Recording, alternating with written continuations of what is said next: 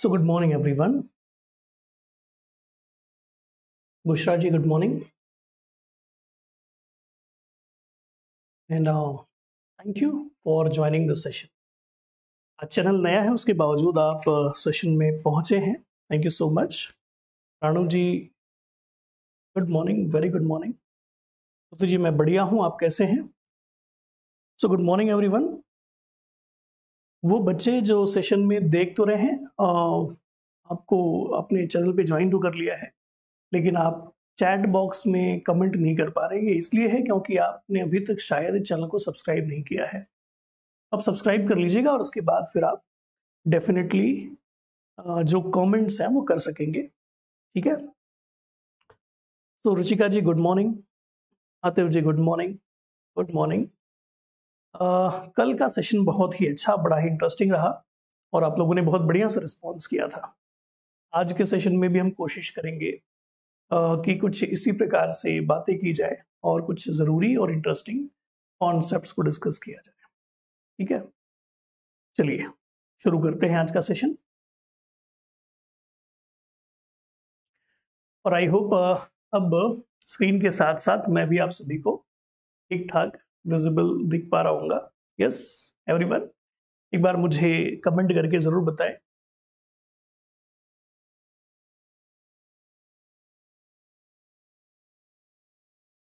जी। So good morning everyone और thank you for joining the second session जी हाँ आज हम कल का जो पार्ट है, उसे कंटिन्यू करने वाले हैं। And definitely we will clear we will make clarification और clear idea about the taxonomical part ठीक है? Thank you thank you Bushra ji thank you so much और आज आपको और भी बहुत सारी चीज़ें क्लियर हो जाएँगी ये मेरी गारंटी है। ठीक है? तो एक बार फटाफट मुझे याद दिलाइए कि कल के सेशन में हम लोग कहाँ तक पहुँचे थे? कल के सेशन में हमने क्या क्या बातें कर ली हैं? है ना? क्या क्या चीज़ें डिस्कस कर ली हैं? और आज हम क्या डिस्कस करने वाले हैं? अगर आप कल के सेशन में थे तो आपको डेफिनेटली ये बात पता होगी। तो ज़रा क्या करना है आप सभी को? यस कल हमने क्या क्या पढ़ा क्या क्या चीज़ें? अरे thank you thank you everyone thank you so much है ना? तो बताओ ज़रा कि कल के दिन हमने क्या क्या पढ़ा और आज के दिन हम क्या और पढ़ने वाले आर्टिफिशियल सिस्टम ऑफ़ क्लासिफिकेशन जो हमने कल के दिन शुरू किया था, उसको हमने एंड किया। Very good very good anything else और कुछ नई बातें जो पढ़ी हमने? बताइए।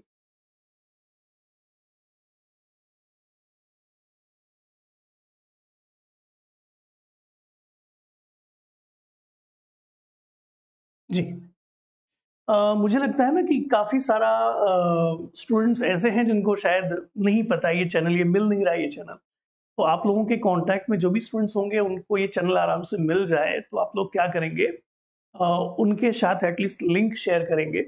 उनके साथ एटलीस्ट बताएँगे कि ये चैनल क्या है कहाँ पर है। और मान लीजिए अगली बार उनको ज्वाइन होने में कोई इशू आता है कोई प्रॉब्लम आती है तो क्या कर देना है? कि इसी वीडियो के डिस्क्रिप्शन में इस चैनल का लिंक और दूसरे वाले जो चैनल है वो तो आप जानते ही हो, उसका लिंक हमेशा इस प्रकार से रहेगा। तो उस लिंक के थ्रू आप ज्वाइन कर सकते हो। ठीक है? ओके। सो गुड मॉर्निंग आज हम नेचुरल क्लासिफिकेशन करेंगे। जी हाँ जी हाँ सही बात है। B fly ji good morning कैसे हैं आप? Thank you thank you for joining the session बहुत सारा ढूँढने के बाद शायद आपको ये चैनल मिला होगा। सो फ़र्स्ट ऑफ़ ऑल आपके उस एफर्ट के लिए थैंक यू सो मच और चलिए शुरुआत करते हैं आज के सेशन की। आज हम डेफिनेटली uh, आगे नेचुरल सिलेक्शन वाले पार्ट की तरफ़ बढ़ेंगे लेकिन उसके पहले जैसा कि मैंने आपको कल भी बताया था आरपीएससी uh, की प्रिपरेशन के लिए ग्रेड टू है ना? ग्रेड टू की प्रिपरेशन को लेकर के हमारी लाइव बैचेस शुरू हो चुकी हैं। ऐसे ही ग्रेड वन की प्रिपरेशन के लिए लाइव बैचेस शुरू होने वाली हैं ऑनलाइन क्लासेस ऑनलाइन क्लासेस ठीक है? ये कोर्सेस ये एक तो शुरू हो चुका है, ये जस्ट आने वाला है कुछ दिनों के अंदर। तो अगर आप इसके बारे में सोच रहे हैं तो जल्द से जल्द आप इस कोर्स से फ़ायदा ले सकते हैं। और कल के दिन मैंने आपको कंपेयर करवा दिया था कि कैसे ये जो प्लांट टेक्सोनॉमी वाला पार्ट है ना प्लांट टेक्सोनॉमी ये आपको कहाँ कहाँ देखने को मिल जाएगा? आपको ग्रेड वन के सिलेबस में भी देखने को मिल जाएगा ग्रेड टू के सिलेबस में भी देखने को मिल जाएगा। और उसी के साथ साथ फिर हम बात करते हैं कि गेट के अंदर भी देखने को मिल जाएगा, सेट के अंदर भी देखने को मिल जाएगा and finally C S I R NET के सिलेबस में भी देखने को मिल जाएगा और हम इस टॉपिक को इंट्रोड्यूस कर चुके हैं और डिटेल में एक्सप्लोर कर रहे हैं। जी रागनी जी, मैं अच्छा हूँ। आई होप आप भी बहुत अच्छे होंगे और अपनी तैयारी कर रहे होंगे, पढ़ रहे होंगे एफ़ के साथ मिल करके, जुड़ करके। और ये चैनल के बारे में मैंने बताया था, आज हम इस चैनल के ऊपर पढ़ रहे हैं ट्वेंटी सेवेंथ अप्रैल का जो सेशन है वो इस पर हो रहा है। कल का सेशन फिर से लाइव साइंस वाले चैनल पर होगा। तो ये सारी बातें आप एक बार के लिए ध्यान रखिएगा। And now we are moving towards the natural system of classification तो नेचुरल सिस्टम ऑफ़ क्लासिफिकेशन पे जाने से पहले कुछ छोटी छोटी बातें मैं आप सभी को रिवाइज करवाना चाहता हूँ। जैसे कि जब कभी भी आपने ये सोचा होगा कि what is exactly the artificial system of classification and how artificial system of classification is actually different from the natural system of classification तो एक बात बहुत ज़रूरी है जो क्लियर होनी चाहिए। वो ये है कि अगर हम लिनायस के आर्टिफिशियल सिस्टम ऑफ़ क्लासिफिकेशन की बात करें, जिसके अंदर उन्होंने sexual characters floral morphological characters का भी इस्तेमाल किया हुआ है क्लासिफिकेशन के अंदर। Bentham and Hooker system is a natural system जी हाँ बशरा जी, सही बात है। और हम पहुँचेंगे वहाँ पर आज के दिन में। तो जो खास बात बताई जाती है कि फ्लोरल कैरेक्टर्स का भी इस्तेमाल लीनियस ने अपने क्लासिफिकेशन में किया था, इसीलिए उनके आर्टिफिशियल सिस्टम ऑफ़ क्लासिफिकेशन को सेक्सुअल सिस्टम ऑफ़ क्लासिफिकेशन भी कहा जाता है। ठीक है? जिसमें शायद अगर आपने कभी ये बात डिटेल में एक्सप्लोर की होगी तो ये टर्म्स आपने सुन रखे होंगे दैट इज़ मोनाइंड्रिया और मोनाइंड्रिया के साथ साथ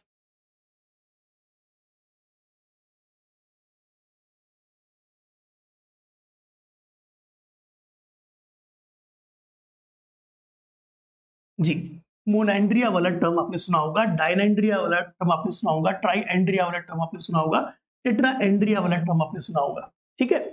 तो एक्चुअली अगर आर्टिफिशियल सिस्टम ऑफ़ क्लासिफिकेशन को समझना है तो बड़ी बेसिक सी जो बात है, वो क्या है?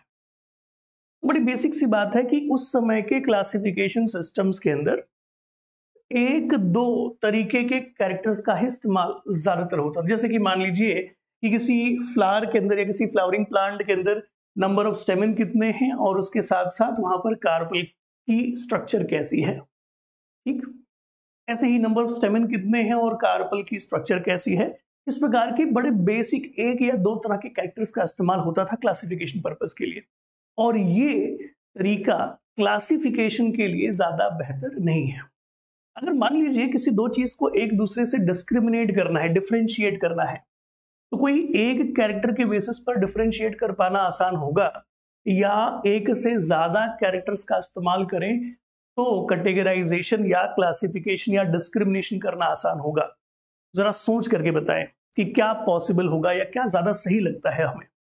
कि किसी एक या दो या तीन या चार कैरेक्टर के बेसिस पर किसी ग्रुप ऑफ़ इंडिविजुअल को डिस्क्रिमिनेट करने से ज़्यादा बेहतर क्लासिफिकेशन बन पाएगा, या कुछ मैक्सिमम नंबर ऑफ़ और मैक्सिमम ग्रुप ऑफ़ कैरेक्टर्स का इस्तेमाल करके अगर हम कैटेगराइजेशन करें तो ज़्यादा बेहतर होगा।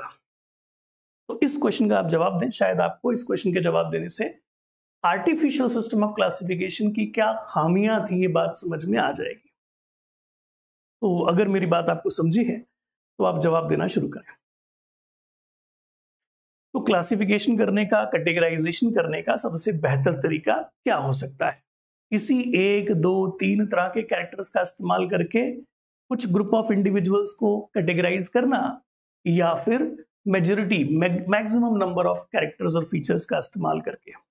ज़ाहिर सी बात है बुशरा जी, सही बात कि मैक्सिमम नंबर ऑफ़ कैरेक्टर्स का जब आप इस्तेमाल करते हो, ज़्यादा नंबर ऑफ़ कैरेक्टर्स का जब आप इस्तेमाल करते हो तो कैटेगराइजेशन ज़्यादा बढ़िया, ज़्यादा स्पेसिफिक होता है या डिस्क्रिमिनेट कर पाना ज़्यादा आसान हो जाता है, ज़्यादा बेहतर हो जाता है। ठीक है? और यही कमी थी, यही खामी थी आर्टिफिशियल सिस्टम ऑफ़ क्लासिफिकेशन की। सिर्फ़ और सिर्फ़ मॉर्फोलॉजिकल फीचर्स का इस्तेमाल किया जाता था हैबिटेट जैसे कैरेक्टर्स का इस्तेमाल किया जाता था इंपॉर्टेंस टू ह्यूमन वेलफेयर इस तरह के कुछ इंफॉर्मेशन का इस्तेमाल किया जाता था। कुछ ग्रुप ऑफ़ प्लांट्स और ऑर्गेनिजम्स को क्लासीफाई करने के लिए डिस्क्रिमिनेट करने के लिए। और उस समय के हिसाब से शायद इतनी तरह की चीज़ों का इस्तेमाल करना भी एक बहुत बड़ी बात थी, क्योंकि ये तो जस्ट शुरुआती ईरा था किसका? क्लासिफिकेशन का, ठीक है?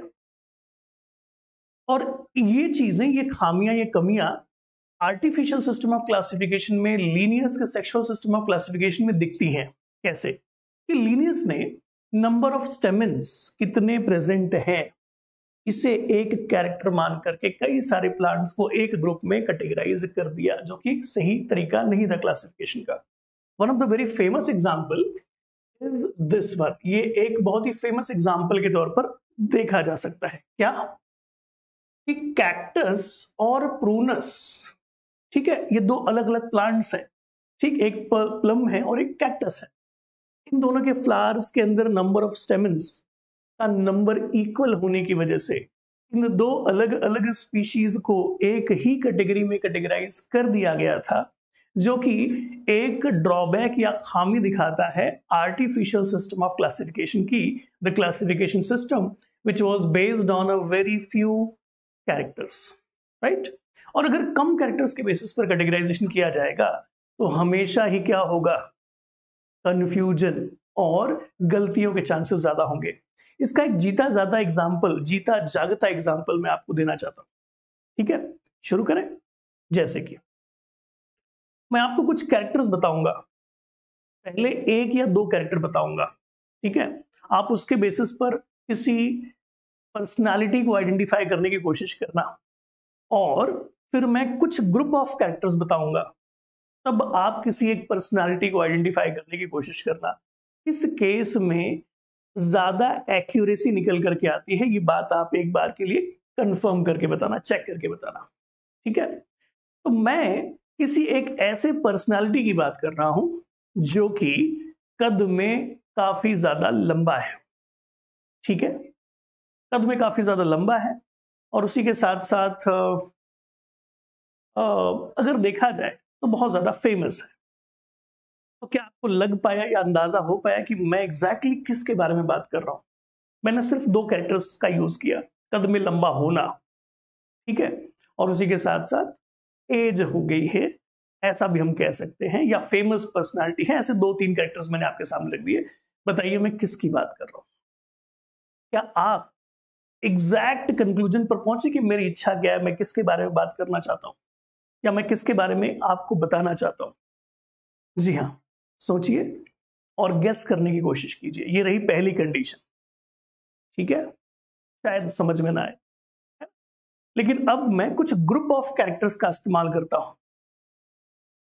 ओके ठीक है? अब मैं कुछ ग्रुप ऑफ़ कैरेक्टर्स का इस्तेमाल करता हूँ।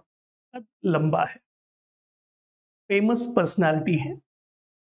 और आवाज़ थोड़ी सी भारी है। ठीक है? उसी के साथ साथ हम कह सकते हैं कि उम्र ज़्यादा हो गई दाढ़ी वाड़ी सफ़ेद हो गया है। अब शायद आप ठीक ठाक गैस कर पा रहे हैं। वेरी गुड बहुत बढ़िया। रितु जी वेरी गुड अमिताभ जी अमिताभ जी की बात हो रही है। Very good Prateek ji good morning और अब आपने ज़्यादा सटीक अंदाज़ा लगाया। ज़्यादा सटीक आप पहुँचे कि हाँ मैं किसकी बात करने वाला हूँ या किसकी बात कर रहा हूँ। मैंने नाम नहीं लिया। ठीक? So this is the difference between the artificial system of classification and the natural system of classification natural system of classification एक ऐसा क्लासिफिकेशन सिस्टम था जिसके अंदर कई प्रकार के कैरेक्टरिस्टिक्स का इस्तेमाल हुआ है जो कि उस समय तक जाने जाते थे, उस समय तक जो भी स्टडीज़ जो भी एक्सप्लोरेशन हुए थे, उन सारे कैरेक्टर्स उन सारे फीचर्स का इस्तेमाल किया जाता है उस समय के मिलने वाले प्लांट्स और एनिमल्स और ऑर्गेनिजम्स के क्लासिफिकेशन में so that is a very basic difference between the artificial system of classification and the natural system of classification अगर ये बात आपको समझ में आ गई है तो अब हम आगे बढ़ सकते हैं और नेचुरल सिस्टम ऑफ़ क्लासिफिकेशन को इंट्रोड्यूस कर सकते हैं। ठीक? So introducing the natural system of classification ठीक है? तो क्या कमियाँ, क्या खामियाँ थी आर्टिफिशियल सिस्टम ऑफ़ क्लासिफिकेशन की, ये मैंने आपको समझाने की कोशिश की है। और आई होप अब आप आराम से डिस्क्रिमिनेट कर सकते हो आर्टिफिशियल और नेचुरल सिस्टम ऑफ़ क्लासिफिकेशन को।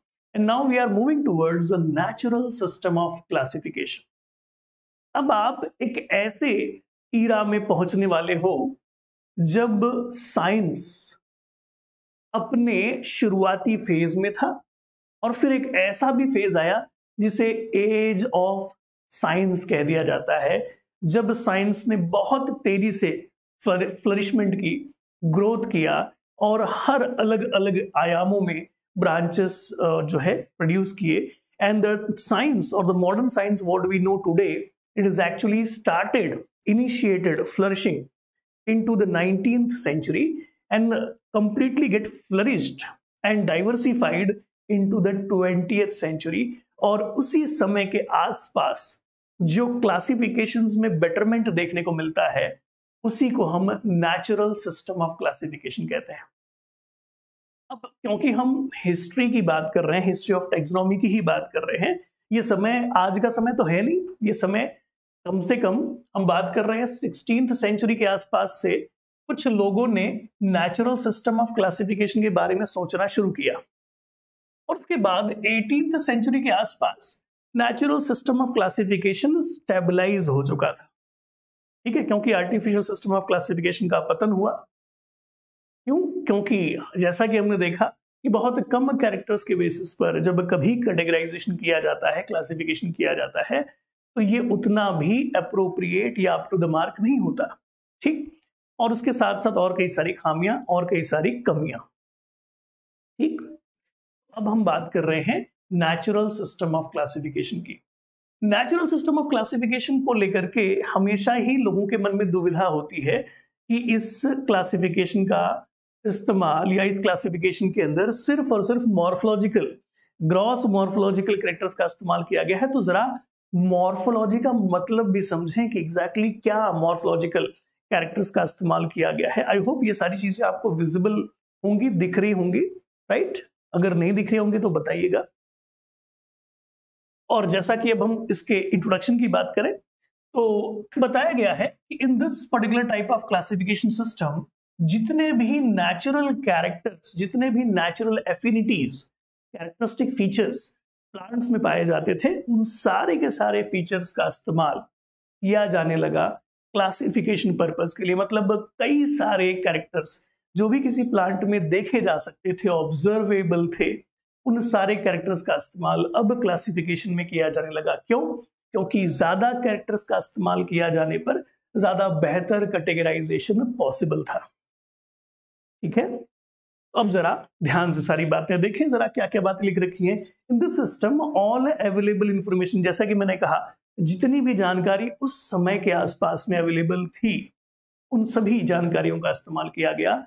इस क्लासिफिकेशन सिस्टम के अंदर about the constant and natural characters of a plant are used as a basis of classification classification के बेस के तौर पर क्लासिफिकेशन के कोर के तौर पर सारे के सारी मॉर्फोलॉजी का इस्तेमाल किया गया, न कि एक, दो गिने चुने कैरेक्टर्स ठीक है? उसी के साथ साथ ये कुछ एक लाइन और लिख रखी है, देखो। नेचुरल क्लासिफिकेशन में वो सारे के सारे फीचर्स का इस्तेमाल किया जाने लगा। जो कि कोई टेक्सोनोमिस्ट जब कभी फ़ील्ड पर जाता था तो जो भी कैरेक्टर्स वो ऑब्ज़र्व कर पाता था, जो भी वो देख पाता था, जो भी वो डिस्क्राइब करता था, सारे कैरेक्टर्स का इस्तेमाल अब क्लासिफिकेशन पर्पज में होने लगा था। ऐसे क्लासिफिकेशन सिस्टम को हम नेचुरल सिस्टम ऑफ़ क्लासिफिकेशन कहते हैं। ठीक है? ऐसे सारे के सारे इसका इस्तेमाल करके किए गए क्लासिफिकेशन को ही नेचुरल सिस्टम ऑफ़ क्लासिफिकेशन कहते हैं। और बड़ा सिंपल तरीके से अगर मैं इसको एक्सप्लेन करूँ तो ये इतना है कि जितने भी नेचुरल फीचर्स जितने भी नेचुरल कैरेक्टर्स किसी प्लांट में देखे जा सकते थे उस समय तक या ऑब्ज़र्व किए जाते थे उस समय तक, उन सारे कैरेक्टर्स का इस्तेमाल अब क्लासिफिकेशन पर्पज में किया जाने लगा। ठीक है? तो जब आप कभी भी नेचुरल सिस्टम ऑफ़ क्लासिफिकेशन की बात कर रहे हैं तो आप एक्चुअली मिडिल एजेस में है। मिडिल एजेस मतलब बहुत ही पास्ट टाइम में भी नहीं है आप बहुत ही मॉडर्न टाइम में भी नहीं है मिडिल एजेस में है और उस मिडिल एजेस में ही साइंस ने फ्लरिश करने की शुरुआत की। कई अलग अलग प्रकार के ब्रांचेस का इमरजेंस हुआ और हर ब्रांचेस से जो भी जानकारी मिलती थी, उन सारी जानकारियों का इस्तेमाल अब क्लासिफिकेशन पर्पज में करने की कोशिशें शुरू होने लगी। और ये जो क्लासिफिकेशन सिस्टम फ्लरिश होना शुरू हुआ, इसे नेचुरल सिस्टम ऑफ़ क्लासिफिकेशन कहा गया। ठीक है? जी हाँ life science C S R NET वालों के लिए भी बेनिफिशियल होगा। जी हाँ कंप्लीट मॉर्फोलॉजी रानी जी कह रही सही बात। लेकिन जब आप कंप्लीट मॉर्फोलॉजी कहते हो ना तो आप अपने आप को रेस्ट्रिक्ट करते हो, क्या कंप्लीट एक्सटर्नल मॉर्फोलॉजी जी नहीं। एक्सटर्नल इंटरनल एम्ब्रियोलॉजिकल पेलेंटियोलॉजिकल या पेलिनोलॉजिकल जितने भी नए नए ब्रांचेस का इमरजेंस हुआ, उन सारे ब्रांचेस के अंदर जो भी कैरेक्टर्स की जानकारी मिलती गई प्लांट्स और एनिमल्स के अंदर, उन सारे कैरेक्टर्स का इस्तेमाल उनके क्लासिफिकेशन पर्पज में किया जाने लगा। ऐसे ईरा को या ऐसे सिस्टम ऑफ़ क्लासिफिकेशन को हम नेचुरल सिस्टम ऑफ़ क्लासिफिकेशन कहते हैं। ठीक? तो ये तो बड़ा सिंपल सा इंट्रोडक्शन देने की मैंने कोशिश की। आइए नेचुरल सिस्टम ऑफ़ क्लासिफिकेशन के ईरा को देखें इसकी शुरुआत कब से हुई? ठीक, और उसके बाद कैसे कैसे कई सारे बेटरमेंट्स होते गए और बहुत फ़ेमस एक्जोनोमिस्ट जो नेचुरल सिस्टम ऑफ़ क्लासिफिकेशन के लिए जाने जाते हैं, वो कौन कौन से थे और कैसे कैसे थे? ठीक तो हम बात कर रहे हैं उस समय की, उस इरा की। याद रखें, जब कभी भी नेचुरल सिस्टम ऑफ़ क्लासिफिकेशन की बात होती है ना तो नेचुरल सिस्टम ऑफ़ क्लासिफिकेशन कब से देखने को मिला है। आपको ये बात भी पता होनी चाहिए। सिक्सटीन सेंचुरी में भी कुछ ऐसे साइंटिस्ट थे जिन्होंने लिनेनियन क्लासिफिकेशन को उतना बेहतर नहीं माना। जैसे कि एग्ज़ाम्पल के तौर पर माइकल एडनसन। माइकल एडनसन ने ही ये देखा कि ये जो लिनेनियन कॉन्सेप्ट है क्लासिफिकेशन का या फिर लिनेनियन क्लासिफिकेशन सिस्टम है, जिसे हम आर्टिफिशियल सिस्टम ऑफ़ क्लासिफिकेशन भी कह रहे हैं ये उतना भी बेहतर तरीके से प्लांट्स को क्लासिफाई करने के लिए कामयाब नहीं है। और इसीलिए उन्होंने कुछ और एडिशनल नए नेचुरल कैरेक्टर्स का इस्तेमाल किया अपने क्लासिफिकेशंस के अंदर। तो याद रखें कि लीनियस के समय के आसपास या उनके पहले ही नेचुरल सिस्टम जैसे क्लासिफिकेशंस के ऊपर कुछ लोगों ने शुरुआती काम करने शुरू कर दिए थे, जो कि सिक्सटीन सेंचुरी के आसपास के ही माने जाते हैं और ये नाम यहाँ पर किसका आएगा? माइकल एडनसन का। माइकल एडनसन जो है, इन्होंने ही नींव रखी फिनेटिक क्लासिफिकेशन सिस्टम की। और आगे जाकर के इन्होंने जो क्लासिफिकेशन सिस्टम दिया था, वही ट्विनेटिक्स के नाम से जाना गया, जिसे हम न्यू एडेंसोनियन भी कहते हैं, या फिर मैथमेटिकल टेक्सनॉमी न्यूमेरिकल टेक्नोमी के नाम से भी जानते हैं। तो नीव नेचुरल सिस्टम ऑफ़ क्लासिफिकेशन जैसे क्लासिफिकेशन की तो लीनियस के समय के आसपास से ही शुरू हो चुकी थी, क्योंकि कुछ मामलों में लीनियस क्लासिफिकेशन सिस्टम उतना बेहतर नहीं था। और हम कहते हैं कि एटीन सेंचुरी में आकर के इस क्लासिफिकेशन ने पूरा ज़ोर पकड़ा। ऐसे क्योंकि एटीन सेंचुरी के अंदर जो साइंस है, ये फ्लरिश होना शुरू हुआ। नाइनटीन सेंचुरी में मतलब हम अर्ली या हम कहते हैं अप्रोक्सीमेट लेट एटीन सेंचुरी के आसपास और अर्ली नाइनटीन सेंचुरी के आसपास जो साइंस है, उसने बहुत तेज़ी से फ्लरिश करना शुरू किया। और फिर ट्वेंटी सेंचुरी में बहुत बड़े धमाके के साथ जो साइंस है और कई सारी डिस्कवरीज हैं, वो सामने आई और उसी का नतीजा है कि आज हम मॉडर्न ईरा ऑफ़ बायोलॉजी में हैं। ठीक है? चलिए, देखें एग्जैक्टली exactly कब और क्या क्या चीज़ें हुई हैं, उसके पहले मैं आपको बता दूँ। कि अगर नेचुरल सिस्टम ऑफ़ क्लासिफिकेशन को सही मायने में समझना है, कि नेचुरल सिस्टम ऑफ़ क्लासिफिकेशन में कौन कौन से कैरेक्टर्स का इस्तेमाल किया गया कौन कौन से ट्रेड्स और मॉर्फोलॉजिकल फीचर्स का या कैरेक्टरिस्टिक्स का इस्तेमाल क्लासिफिकेशन में किया गया है तो इसका जवाब आपको मिलेगा हिस्ट्री में। हिस्ट्री में मतलब कि वो समय जब कई सारे बायोलॉजिकल ब्रांचेस इमर्ज आउट हुए। तो जब आप नेचुरल सिस्टम ऑफ़ क्लासिफिकेशन की बात कर रहे हैं इसका मतलब आप उस समय की बात कर रहे हैं जब ज़्यादातर ब्रांचेस बायोलॉजिकल साइंस के एमर्ज आउट हुए, शुरू हुए और तेज़ी से फ्लरिश होना शुरू किया। ठीक है? मैं ऐसा नहीं कहता कि यहीं से इनकी शुरुआत हुई है। इनके पास्ट और हिस्ट्रीज हैं, लेकिन यहाँ से वो तेज़ी से फ्लरिश होना शुरू हुए हैं और कई सारे नए नए आयामों में एक्सप्लोरेशन हुए। तो इसका एग्ज़ाम्पल हम ले रहे हैं from the cell biology cell biology अपनी तेज़ी पर किस समय से आया? ध्यान रखिए आर्टिफिशियल सिस्टम ऑफ़ क्लासिफिकेशन में क्यों सेल के कैरेक्टर्स वाले फीचर्स का इस्तेमाल नहीं किया गया? क्यों प्लांट एनाटॉमिकल फीचर्स का इस्तेमाल नहीं किया गया? क्यों एम्ब्रियोलॉजिकल कैरेक्टर्स का इस्तेमाल क्लासिफिकेशन में नहीं किया गया? आर्टिफिशियल सिस्टम ऑफ़ क्लासिफिकेशन में इस, ऐसा इसलिए है क्योंकि उस समय तक ये ब्रांचेस शायद एग्जिस्ट ही नहीं कर रहे थे। ठीक? ये तो फ्लरिश होना शुरू हुए एटीन सेंचुरी के अंदर, ठीक है? तो अब हम बात करें एटीन एंड नाइनटीन सेंचुरी में जो ये फ्लरिशमेंट हुआ है एग्जैक्टली क्या हुआ है, देखिएगा। तो सेल बायोलॉजी की शुरुआत है ना? सेल थियोरी अगर आपने पढ़ रखी है थियोडोर शॉन और माल्थस द्वारा दी गई, ये 1800 1838 में दी गई। मतलब अप्रोक्सीमेट आप नाइनटीन सेंचुरी की बात कर रहे हो राइट उसके साथ साथ ये देखो nineteen century Rudolf Virchow I hope आपने इनका भी नाम सुन रखा होगा, है ना, जिन्होंने ये वाली ओमनिस सेलुला ई सेलुला ये वाला कॉन्सेप्ट दिया। मतलब एक और लाइन सेल थियरी के अंदर ऐड कर दी कि all the existing cells they are evolve from some pre existing cells correct तो ये सारी की सारी चीज़ें आपको ये बताती हैं कि आप नाइनटीन सेंचुरी के आसपास में ही देख सकते हैं कि बड़ी तेज़ी के साथ क्या हुआ। मतलब late eighteen century early nineteen century के आसपास में साइंस ने फ्लरिश करना शुरू किया। देखो सेल बायोलॉजी जैसे ब्रांचेस की शुरुआत हुई। उसी के साथ साथ प्लांट एनाटोमी की बात करें तो हम बात करते हैं मार्सिलो माल्फी जी की, जिन्होंने एनाटोमी ऑफ़ प्लांटरम लिखा, जिन्हें फाउंडर ऑफ़ जी हाँ। जिन्हें हम फाउंडर ऑफ़ प्लांट एनाटोमी भी कहते हैं। उसी के साथ साथ नेहमिन ग्रीव का भी नाम ये सारी बातें मैं आपको क्यों बता रहा हूँ? ये सारी बातें मैं इसलिए बता रहा हूँ क्योंकि जो बेसिक साइंस है या जो शुरुआत है कई सारे ब्रांचेस का प्लांट बॉटनी के अंदर या जुलॉजी के अंदर, वो इसी समय के आसपास नाइनटीन और ट्वेंटी सेंचुरी नाइनटीन सेंचुरी में शुरुआत हुई। अर्ली नाइनटीन सेंचुरी से शुरू होकर के ट्वेंटी सेंचुरी में कंप्लीट फ्रिश हुआ। तो cell biology plant embryology embryology की भी शुरुआत अगर आप देखें राइट तो शुरुआत तो सेवनटीन सेंचुरी से ही हो चुकी है, लेकिन नाइनटीन और ट्वेंटी सेंचुरी के आसपास कंप्लीट ये जो इंफॉर्मेशन है, इस प्रकार की इंफॉर्मेशन अवेलेबल थी। हमें सेल बायोलॉजी पता थी, हमें एम्ब्रोलॉजी पता थी, हमें एनाटॉमी पता थी, हमें और भी कई प्रकार की जानकारियाँ पता थी। अगर मैं आपको याद दिला दूँ तो मेंडल द्वारा दी गई और भी कई सारी जानकारियाँ हैं जो उस समय पर अवेलेबल थी।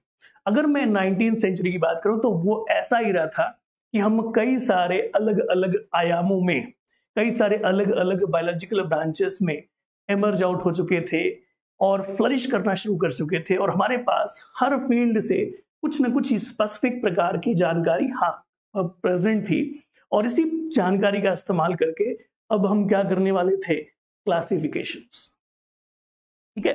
तो इतनी सारी जानकारियाँ जो अब हमारे पास अवेलेबल हैं due to the scientific exploration and a branching diversification into the biological science इन सारे कैरेक्टर्स का इस्तेमाल किसमें होने वाला था? क्लासिफिकेशन सिस्टम्स के लिए।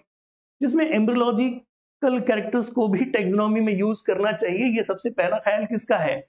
हॉफ टेनर और स्टार बर्गर का। ठीक है? इनका है। ऐसे ही पेलोलॉजिकल इंफॉर्मेशन का इस्तेमाल कहाँ करना चाहिए? टेक्सोनॉमी में करना चाहिए। एम्ब्रोलॉजिकल एनाटोमिकल केमिकल जिसे कीमोटेक्सोनॉमी कहते हो। जितने भी अलग अलग प्रकार के फीचर्स समय समय पर स्टडी होते रहे, उतने सारे अलग अलग कैरेक्टर्स का इस्तेमाल क्लासिफिकेशन में किया जाने लगा। और ऐसा क्लासिफिकेशन सिस्टम जिसमें डाइवर्स प्रकार के मॉर्फोलॉजिकल कैरेक्टर्स का इस्तेमाल किया जाने लगा उसी क्लासिफिकेशन सिस्टम को हम नेचुरल सिस्टम ऑफ़ क्लासिफिकेशन कहते हैं। ठीक है?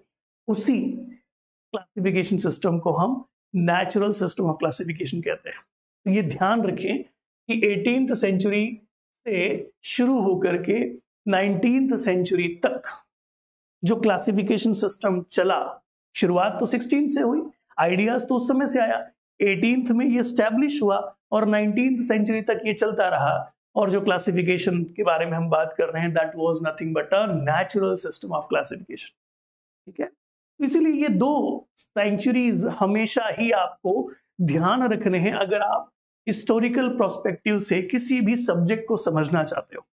ठीक? अगर ये सारी बातें आपकी क्लियर होंगी, तभी आपको समझ में आएगा कि क्यों नाइनटीन सेंचुरी को तो हम बिगनिंग कह देते हैं लेकिन ट्वेंटी सेंचुरी को द एज ऑफ़ साइंस कह दिया जाता है, क्योंकि उसी समय पर ही सारे के सारे एक्सप्लोरेशन मैक्सिमम साइंटिफिक एक्सप्लोरेशन हुए, और ये वो एज था, ये वो फ़ेज़ था जब साइंटिस्ट सुपरस्टार्स माने जाते थे सुपर हीरोज माने जाते थे। आज का एक समय है जब हम शाहरुख खान और इस प्रकार के कई सारे लोगों को सुपरस्टार मानते हैं। आज का एज अलग है, तब का एज अलग था, तब का फ़ेज़ अलग था। ये चीज़ अगर आपको समझनी है नेचुरल क्लासिफिकेशन सिस्टम अगर आपको समझना है तो ये जो एक्सप्लोरेशन और ये जो इराज रह चुके हैं मतलब हम नाइनटीन और ट्वेंटी और इसी के साथ साथ मैं चाहूँगा कि एटीन सेंचुरी को भी इसमें इंक्लूड किया जाए। इन ड्यूरेशन के दौरान, इन टाइम ड्यूरेशन के दौरान क्या क्या चीज़ें हुई हैं, ये भी पता होना ज़रूरी है। ठीक ना मूविंग टुवर्ड्स नेक्स्ट आगे बढ़ते हैं। तो जैसा कि हमने बात किया कि किसी वजह से, कुछ खामियों की वजह से आर्टिफिशियल सिस्टम ऑफ़ क्लासिफिकेशन को लोगों ने नकारना शुरू किया। कई सारी खामियाँ, कई सारी कमियाँ थी। और ये खामियाँ और कमियाँ ये थी कि मिनिमम कैरेक्टर्स का इस्तेमाल करके जो क्लासिफिकेशन किए गए थे, वो उतने भी बेहतर तरीके से ऑर्गेनिजम्स को या प्लांट्स को क्लासिफाई करने के लिए सक्षम नहीं थे। ठीक है? और इसीलिए आई होप आपने लाइन पढ़ी ली होगी कि general despite the general adoption of Linnaean sexual classification system some workers were never completely satisfied कुछ लोग थे जिनके मन में अभी भी इस क्लासिफिकेशन के लिए उतनी भी ज़्यादा रिस्पेक्ट नहीं थी या उतना भी ज़्यादा भरोसे, भरोसा नहीं करते थे। और ऐसे लोगों में नाम दिखाई देगा। बोहिन का, जिसे कैस्पर बोहिन भी कहते हैं जॉन रेका और माइकल एडनसन का। हम शुरुआत तो मानते हैं माइकल एडनसन की, क्योंकि इन्होंने ही जो नए तरीके का क्लासिफिकेशन शुरू किया। उस क्लासिफिकेशन जिसके अंदर सिर्फ़ और सिर्फ़ कुछ कैरेक्टर्स का इस्तेमाल नहीं, बल्कि और कुछ एक्स्ट्रा नेचुरल कैरेक्टर्स का इस्तेमाल किया गया था ज़्यादा बेहतर कैटेगराइजेशन के लिए। इनके ही काम को हम शुरुआत मानते हैं नेचुरल क्लासिफिकेशन सिस्टम के। ठीक है? So earlier idea of natural selection even before Linnaean ध्यान रखेगा बोहिन के समय से ही चला आ रहा है। लेकिन ठीक है, हर साइंटिस्ट का, हर एक इन्फ्लुएंसर का अपना अपना इंपैक्ट होता है। तो लीनियस अपने समय के एक महानतम साइंटिस्ट थे, और क्योंकि वो एक महानतम साइंटिस्ट थे, इसलिए उनके द्वारा दिए गए क्लासिफिकेशन सिस्टम को एक लंबे समय तक लोगों ने फॉलो किया और यूज़ किया। सही क्लासिफिकेशन का तरीका माना, लेकिन समय के साथ कुछ ऐसे भी ब्रेन्स डेवलप होते हैं, पनपते हैं, जो कि नए रेवोल्यूशनरी चेंजेस ले आते हैं और ऐसे ही रेवोल्यूशनरी चेंजेस लाने वालों का नाम यहाँ पर आप देख रहे हो। ठीक है? That is Caspar Bauhin John Ray और माइकल अडनसन उसके बाद शुरुआत हो चुकी थी नेचुरल सिस्टम ऑफ़ क्लासिफिकेशन जब कभी भी नेचुरल सिस्टम ऑफ़ क्लासिफिकेशन की बात की जाए तो माइकल एडनसन के बाद एक नाम आएगा जियान बैप्टिस्ट लमार्क का। लमार्क का नाम वैसे तो किस चीज़ से ज़्यादा जोड़ कर देखा जाता है? तो हम एवोल्यूशन से ज़्यादा जोड़ करके देखते हैं। जी Sudha ji good morning thank you for joining the session on this channel इस चैनल के ऊपर आने के लिए धन्यवाद। थैंक यू सो मच तो जब कभी भी आप लमार की बात करते हो तो लमार्क तो हम किसके साथ जोड़ करके पढ़ते हैं? एवोल्यूशन के साथ। लेकिन लमार्क का कंट्रीब्यूशन टेक्सोनॉमिकल स्टडीज़ में भी है। ध्यान रखिए, शायद कहीं पर यह क्वेश्चन आ जाए कि लमार्क द्वारा लिखा गया जो किताब है टेक्सोनॉमी में जो कंट्रीब्यूशन है, वो कौन सी किताब के नाम से है? सो दैट इज़ फ्लोरी जी फ्रांसिस ठीक है? 1778 मतलब अप्रोक्सीमेट लीनियस थे और उसके आसपास में ये जो क्लासिफिकेशन है, ये काफ़ी हद तक नेचुरल क्लासिफिकेशन जैसा ही लगता है। शुरुआती नेचुरल क्लासिफिकेशन जैसा लगता है। उसके बाद एक नाम बहुत ही फ़ेमस है, वो है जोशियोस। जोशियोस का जो क्लासिफिकेशन है, ये सबसे ज़्यादा वेल ऑर्गेनाइज्ड सबसे ज़्यादा बेहतर नेचुरल क्लासिफिकेशन माना गया। सबसे शुरुआती और सबसे ज़्यादा बेहतर नेचुरल क्लासिफिकेशन सिस्टम माना गया। और इस क्लासिफिकेशन सिस्टम के आने के बाद से जो लिनेनियन क्लासिफिकेशन सिस्टम था लीनियस क्लासिफिकेशन सिस्टम था, ये पूरी तरह से समाप्त हो गया। लोगों ने लीनियस के क्लासिफिकेशन से ज़्यादा बेहतर रिस्पॉन्स इस क्लासिफिकेशन के लिए शो किया। ठीक? सबसे पहली बार detailed natural system of classification को जोशियोज ने पब्लिश किया जेनरा प्लेंटरम नाम की किताब के अंदर। सत्रह सौ उन्यासी सॉरी उन्यासी क्यों कह रहा हूँ? नवासी में। उसके बाद जो दूसरा नाम बड़ा फ़ेमस है, वो है एपीडी कैंडोल एपीडी कैंडोल का कंट्रीब्यूशन नेचुरल क्लासिफिकेशन में अगेन एक बेंचमार्क माना जाता है जो मिडिल एजेस में हुआ। अप्रोक्सीमेट अगर आप देखें तो पहली बार नेचुरल सिस्टम ऑफ़ क्लासिफिकेशन को उन्होंने इस किताब के अंदर 1813 में डिटेल डिस्क्रिप्शन के साथ पब्लिश किया। ये किताब का नाम कई बार कई सारे एग्ज़ाम से पूछा गया है। ठीक है? कई बार कई सारे एग्ज़ाम से पूछा गया है। चलिए उसी के साथ साथ आगे बढ़ते हैं। जॉर्ज बेंथमन हुकर अपने समय के ग्रेटेस्ट एक्सोनोमिस्ट में अगर मैं नाम लूँ तो एपीडी कैंडोल जो कि नेचुरल सिस्टम ऑफ़ क्लासिफिकेशन के एक ग्रेटेस्ट एक्सोनोमिस्ट के तौर पर जाने जाते हैं। और उसी के साथ साथ ये भी नाम लेना बनता है George Bentham and Hooker George Bentham and sir J D Hooker और इनका क्लासिफिकेशन सिस्टम तो हमने अपने कॉलेजेस में पढ़ रखा है, अपने कॉलेज के किताबों में पढ़ रखा है, अपने प्रैक्टिकल के हैंडबुक्स में पढ़ रखा है। ठीक है? तो याद रखें, इन्होंने भी ये किताब जनरा प्लांटरम के अंदर सबसे पहली बार अपने डिटेल्ड क्लासिफिकेशन को पब्लिश किया और जो क्लासिफिकेशन इन्होंने दिया था, उसे जाना जाता है द क्लासिफिकेशन ऑफ़ फेनरोग्याम ध्यान रखिएगा, क्वेश्चन आता है कि Bentham and Hooker classification system किस बारे में है, किसके बारे में दिया गया है? तो फेनोरोग्याम्स के बारे में दिया गया मतलब सीड प्रोड्यूसिंग प्लांट्स के बारे में दिया गया है। सीड प्रोड्यूसिंग प्लांट्स के मतलब जिम्नोस्पम और एंजियोस्पम के बारे में दिया गया है। यहाँ से क्वेश्चन आते हैं। ठीक है? और जितने भी एंजियोस्पर्मिक प्लांट्स थे, उनको इन्होंने 202 202 फैमिलीज़ में क्लासिफाई किया है अपने क्लासिफिकेशन सिस्टम के अंदर।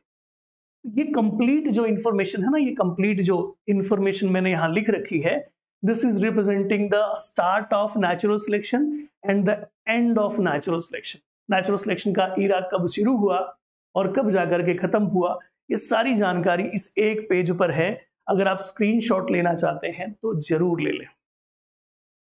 क्या क्वेश्चन है? यस इवन अभी तक हम बेंथम हुकर का सिस्टम ही फॉलो करते हैं।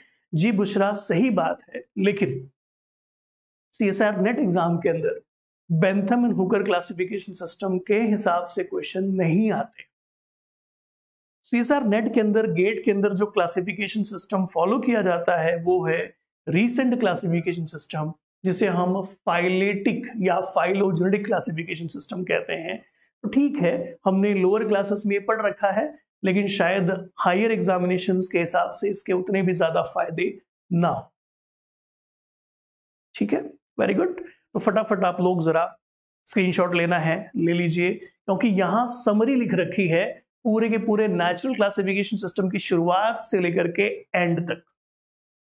और ये है natural system of classification natural system of classification में जो दो बातें आपको ध्यान रखनी है वो ये है, इस स्लाइड पर जो नाम लिख रखे हैं उनका सीक्वेंस कौन कब आया? अगर मैं बता दूँ कि अगर आप बात कर रहे हैं लमार्क की तो आप अठारहवीं शताब्दी में है ना? सत्रह सौ सत्रह सौ के आसपास में है। ठीक? सॉरी, सत्रहवीं शताब्दी नहीं अठारहवीं शताब्दी में, सत्रह सौ के आसपास में हा? उसके साथ साथ ये बाकी के जो नाम, और ये दो नाम तो डेफिनेटली आपको ध्यान रखने, बहुत ज़रूरी है ये दो नाम। एपीडी कैंडोल और जॉर्ज बेंथमैन हुकर तो ये सारी जानकारी के साथ अब बढ़ते हैं आगे। और जो बात आपको याद दिलानी थी और बतानी थी वो क्या है, ध्यान रखिएगा। इस पर हम आते हैं, इस पे आने से पहले क्या बोलना रह गया जो मैं यहाँ दो तीन बातें बता रहा था। पहली बात तो ये लिस्ट याद रखनी है।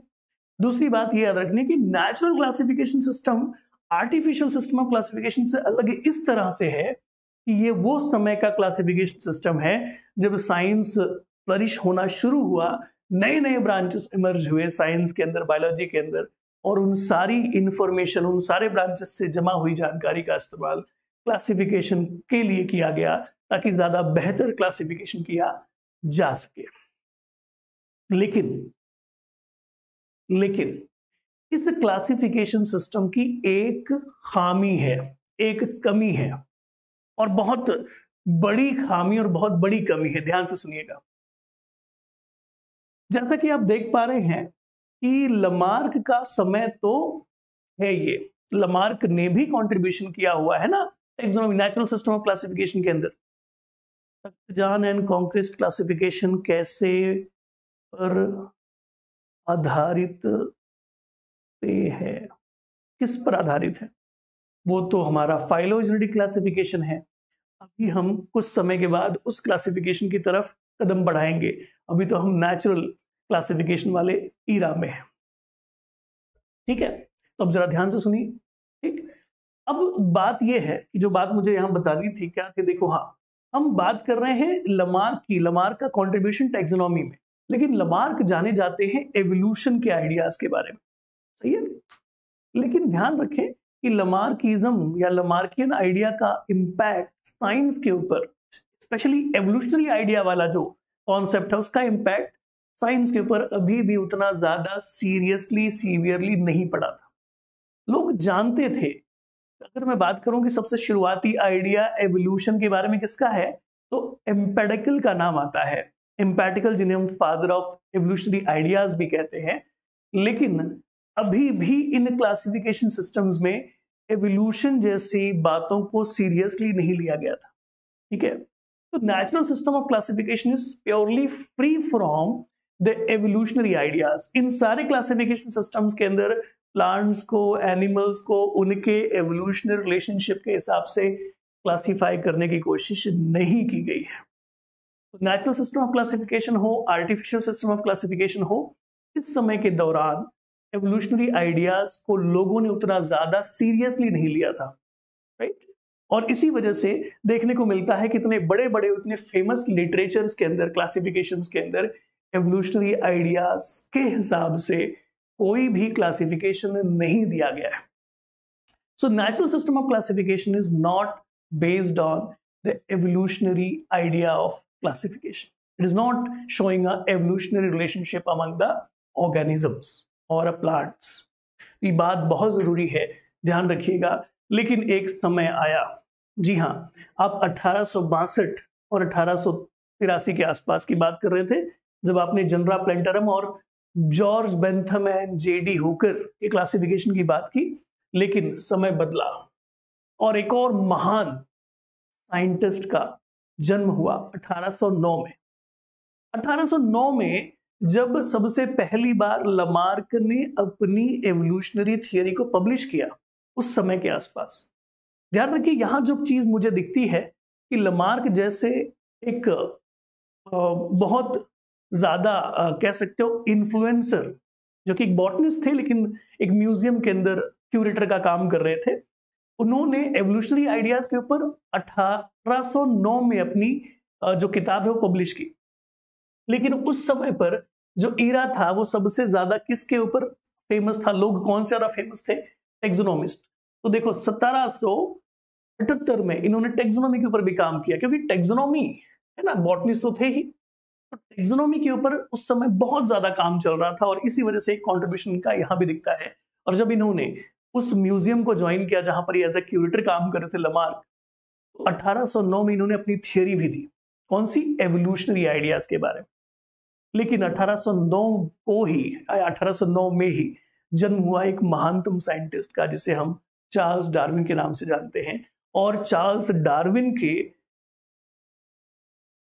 अठारह इस कंट्रीब्यूशन के बाद से द ओरिजिन ऑफ़ स्पीशीज इस पब्लिकेशन के बाद से सब कुछ बदल गया। साइंस पूरी तरह से उथल पुथल हो चुका था। जो भी थॉट्स अभी तक के एक्जनोमिस्ट के थे, वो सब बदल चुके थे। और बहुत बड़ा बदलाव माना जाता है लमार्कियन आइडिया को या एवोल्यूशन ऑफ़ और the origin of a species इस पर्टिकुलर किताब को। So the idea which was publish by the Lamarck it was actually a bench और it was actually a transition phase under the taxonomy taxonomy के अंदर इसे transition phase के तौर पर देखना चाहिए। और बहुत बड़ा बदलाव टेक्सोनॉमिकल प्रोसेसेस में देखने को मिला after the theory this theory ठीक? क्या कह रहे हैं? एमएस सेट में किस तरह से क्वेश्चन पूछे जाते हैं? एमएस सेट में किस तरह से क्वेश्चन पूछे जाते हैं ये जानने के लिए? देर वॉज़ रिटर्न 1807 1807 हाँ तो 1807 में इनका जन्म हुआ, इसका, चार्ल्स डार्विन का। और सबसे पहली किताब इन्होंने कब पब्लिश की? 1859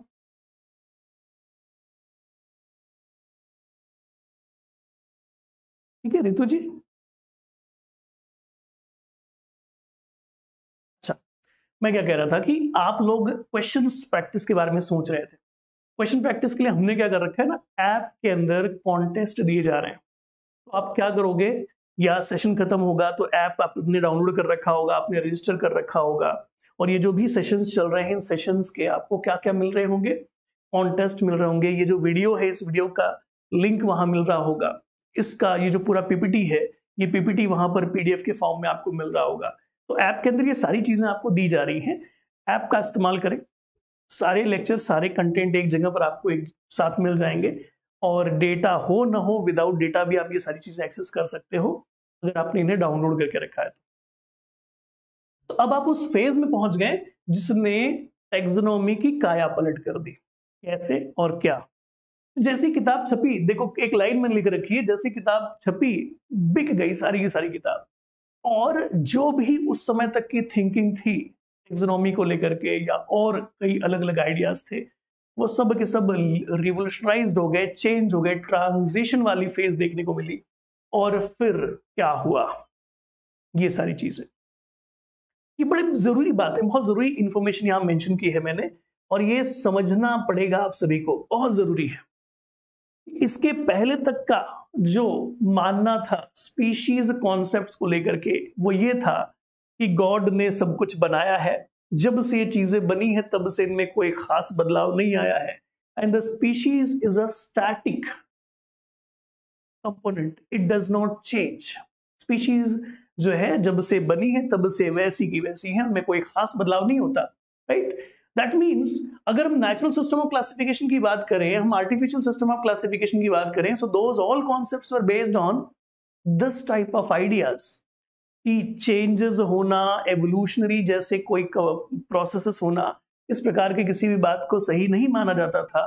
The concept which was famous on that time about a species that was a static species concept static species का मतलब सारी स्पीशीज में कोई चेंज कोई बदलाव नहीं होता।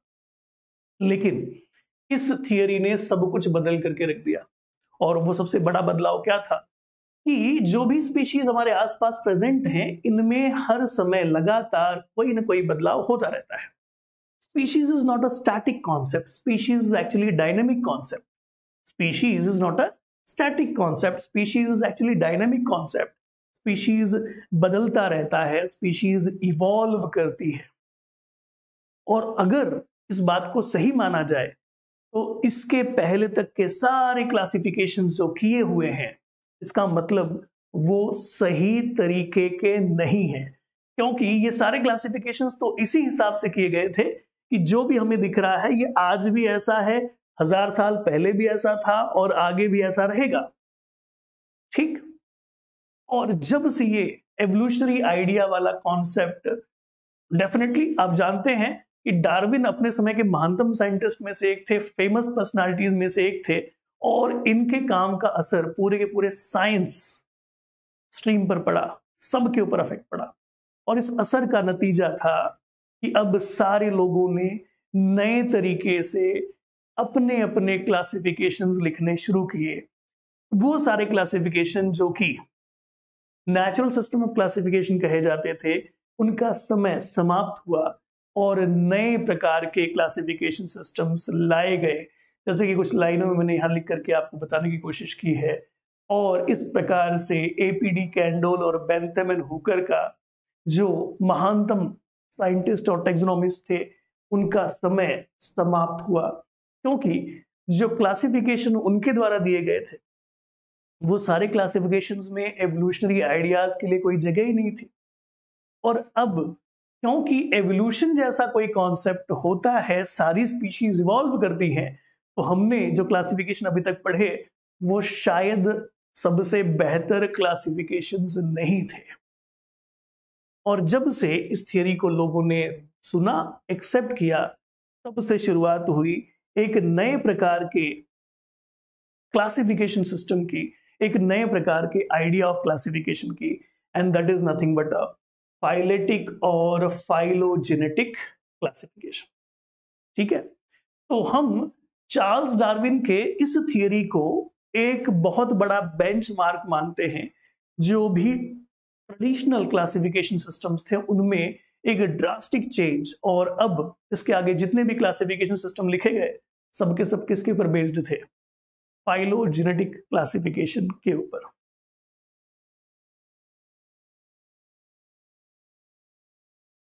अंजलि जी एक्चुअली देखिए, जब कभी भी आप इनिशियल जो पार्ट पढ़ते हो, शुरुआती जो पार्ट है, जैसे कि नेचुरल सिस्टम ऑफ़ क्लासिफिकेशन तो भी यही पढ़ना है, कुछ अलग से नहीं पढ़ना है।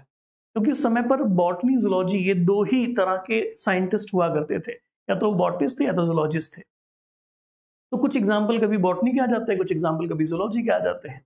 बाकी ओवरऑल कॉन्सेप्ट तो यही है। ओवरऑल कॉन्सेप्ट यही है। ब्रॉड पिक्चर यही है। सिर्फ़ एग्ज़ाम्पल का हेर फेर है। एग्ज़ाम्पल अगर मैंने बॉटनी के दे दिए तो मैं बॉटनिस्ट कहला जाऊँगा। और अगर मैंने जोलॉजी के दे दिए तो मैं जोलॉजिस्ट कहला जाऊँगा। बस इतना ही फ़र्क है। बाकी सारा कुछ यही है जो आपको पढ़ना है। ठीक है? राइट तो ये है सबसे बड़ा turning point into the taxonomy और इस प्रकार से हम समराइज करते हैं यहाँ पर क्या। अभी तक हमने क्या क्या पढ़ा? आई होप ये सब विजिबल होगा। अगर विजिबल नहीं है तो जस्ट मुझे एक मिनट का समय दीजिए, जिससे मैं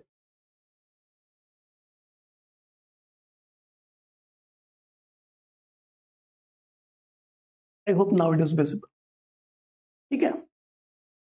सफिशियंट है? जी हाँ more than sufficient more than sufficient सिर्फ़ मैं शायद जोलॉजी के एग्ज़ाम्पल उतने देने में कंफर्टेबल नहीं होता क्योंकि जोलॉजी बॉटनी का बैकग्राउंड है, लेकिन चिंता ना करें। बीच बीच में मैं उसके एग्ज़ाम्पल भी आपको दे दूँगा। ठीक है? तो चलिए, अभी तक हमने जो पढ़ा है, वो समझिए। अभी तक हमने आर्टिफिशियल सिस्टम ऑफ़ क्लासिफिकेशन पढ़ा। क्या हो गया?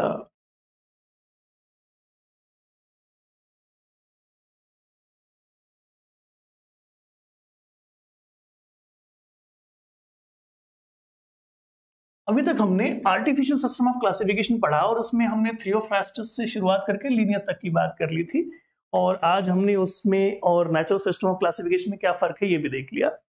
फिर हम बात कर रहे थे जॉर्ज सॉरी कैस्पर बोहिन रे और जेशवास और फाइनली अभी हम इक्लर तक नहीं पहुँचे हैं। क्योंकि इक्लर का क्लासिफिकेशन सबसे पहला क्लासिफिकेशन जो फाइलोजेनेटिक आइडिया के ऊपर बेस्ड था, वो है। लेकिन उसके बाद हमने कैंडोल एपीडी कैंडोल, उसके बाद हमने बेंथम एंड हुकर क्लासिफिकेशन के बारे में बात की and this is about the natural system of classification natural system of classification इतना ही होता है, ठीक है?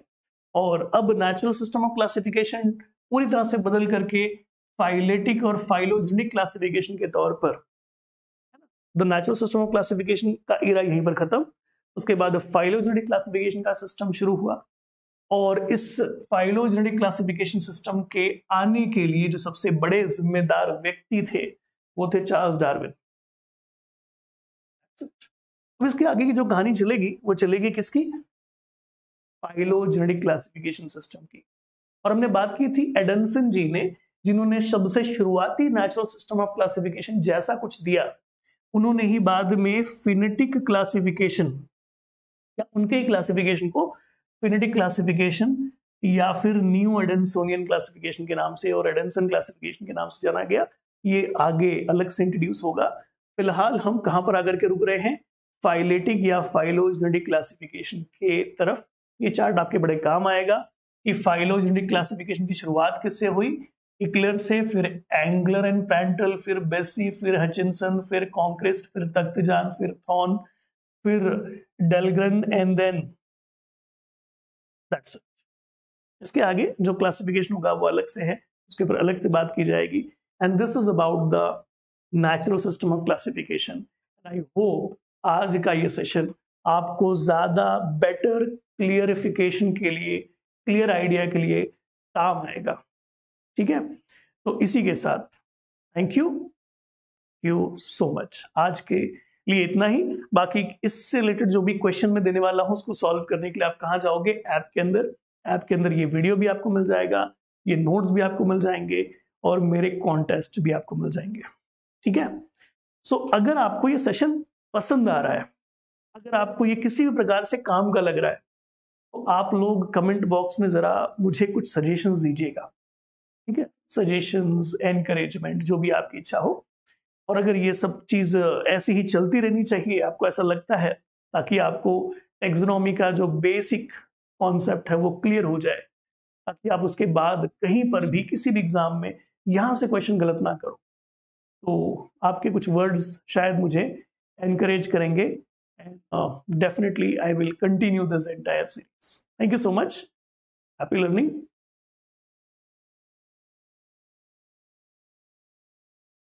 so कल मिलते हैं कौन से चैनल के ऊपर? सी एस आई आर वाले चैनल के ऊपर। आज जो बच्चे सेशन में नहीं आ पाए हैं, उनको भी बताओ कि सेशन बड़ा अच्छा हुआ और आप सभी को आना चाहिए था। Okay thank you thank you so much मिलते हैं कल।